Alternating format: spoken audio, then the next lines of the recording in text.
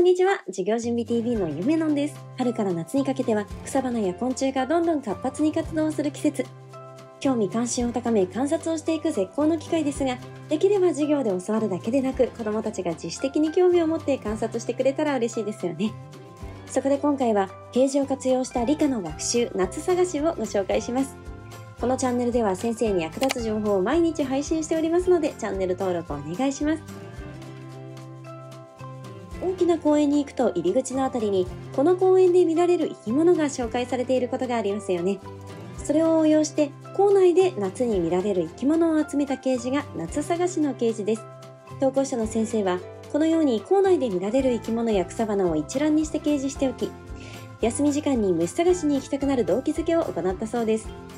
目を引くことが肝心なので、細かい説明は省き、写真と名前がわかるように配置していることがわかりますね。2L 版の写真が入るウォールポケットを用意し、写真と名前を 2L サイズで印刷して入れていくだけで完成するので、無理なく作成することができそうです。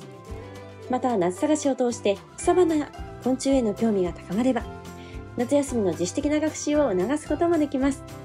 夏休み前に学内で見つけられなかった生き物を探してみよ